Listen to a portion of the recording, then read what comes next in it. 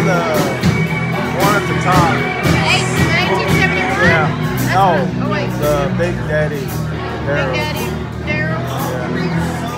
To help on last leg. He's almost lost. Uh, we'll watch for you.